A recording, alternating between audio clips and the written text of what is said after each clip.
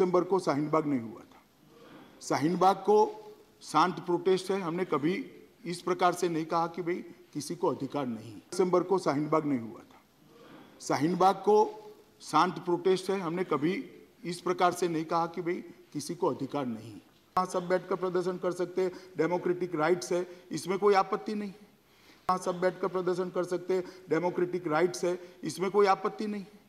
हाँ सब बैठकर प्रदर्शन कर सकते हैं। डेमोक्रेटिक राइट्स है। इसमें कोई आपत्ति नहीं। मेरे साथ बोलिए, भारत माता की। भाई, क्या हुआ? बाबरपुर वालों को ऐसी आवाज़ आती है क्या? इस शाहीन बाग के जितने समर्थक है, वहाँ तक आवाज़ पहुंचनी चाहिए। मेरे साथ दोनों हाथ उठाइए।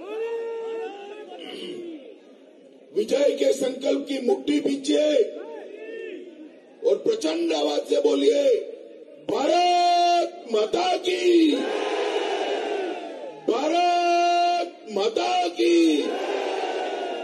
बाबतपुर वालों, आठ तारीख को जब वोट देने जाओ, तब ऐसा मत सोचना कि आपका एक वोट सिर्फ़ नरेश गौड़ को विधायक बनाएगा। वो तो बनाएगा ही।